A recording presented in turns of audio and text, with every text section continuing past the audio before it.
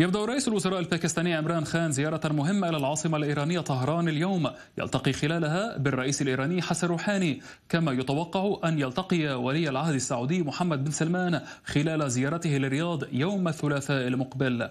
هذا ونفت طهران أن تكون الوساطة بينها وبين الرياض ضمن أجندة الزيارة بينما ذكرت وسائل إعلام عربية أن هذه الزيارة سبقتها لقاءات سرية أجرتها شخصية باكستانية في كل من إيران والسعودية.